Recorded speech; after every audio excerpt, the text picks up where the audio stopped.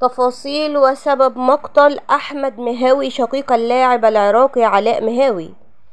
جريمة قتل بطريقة وحشية. السلام عليكم ورحمة الله وبركاته. أهلا بكم متابعينا الأعزاء.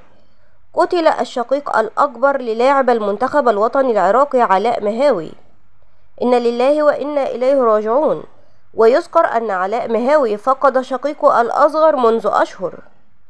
الجريمة التي تم قتل فيها أحمد مهاوي وقعت بمنطقة البلديات حيث قالت التحقيقات أنه تم استدراج الضحية أحمد مهاوي وذلك من أجل سرقة سيارته.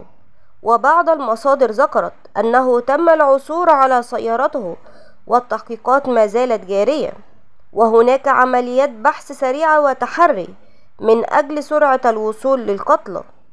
إن لله وإنا إليه راجعون. الحزن خيم والصدمة على الشعب العراقي. على وفاة أحمد مهاوي شقيق اللاعب علاء مهاوي فيما ذكرت بعض المصادر أنه تعرض لوعكة صحية وليس للاغتيال. أعزائي المتابعين وبكده بنكون وصلنا لنهاية خبرنا اليوم. دمتم بأمان الله وإلى اللقاء والسلام عليكم ورحمة الله وبركاته.